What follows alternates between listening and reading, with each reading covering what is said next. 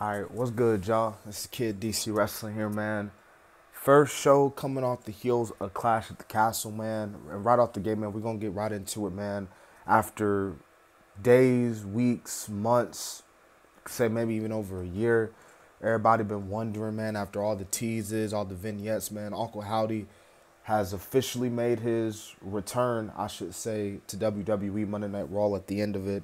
Um, honestly, it was pretty cool, man. I'm not gonna lie to you. Um, not just Uncle Howdy in a sense, but the arrival of this rumored new stable known as the Wyatt Six, man. So I'm gonna see what happens. I'm gonna, I'm gonna definitely give it a chance, man. Like I do with almost everything. So I'm gonna definitely see um, what's gonna happen in the next couple weeks and the next couple months to really see how the stable, you know, comes about because this stable could either be amazingly good or ridiculously bad. I don't know, but I thought the ending um, was really cool, man, and a really nice introduction. Um, but I thought overall Monday Night Raw was really good, man. You know, we saw uh, Jey Uso win the triple threat match to advance to the Money in the Bank. You know, I thought that was a really good triple threat match.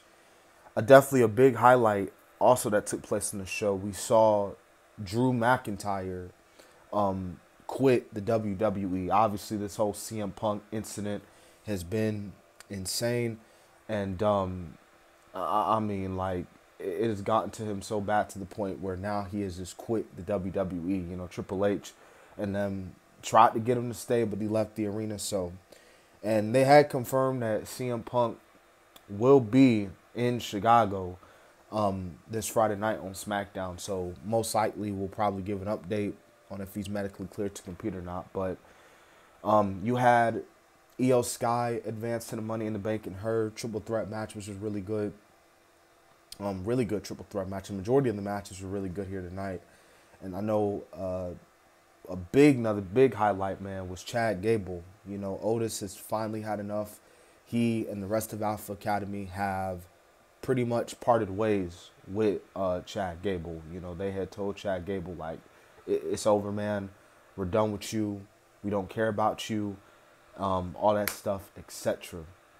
Um, but now you also have um, freaking Bron Breakker and Sami Zayn going at it.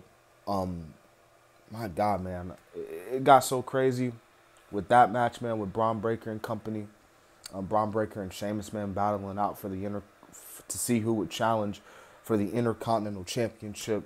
So that was pretty crazy, man. I'm not gonna lie to you. That was really crazy. Um, but yeah, overall, and then you had the continuation with Dom and Liv. Like I said, man, Raw has just been amazingly well these past couple weeks, man. And then Seth Rollins came back. Seth Rollins made his return tonight, which was completely not what anybody expected, man. And it looks like his injury wasn't as uh, shocking as you know we thought it would be. But nevertheless, man, crazy again, crazy ending the Monday Night Raw crazy start to Monday Night Raw. Just overall, a really good episode nonetheless. So there you have it.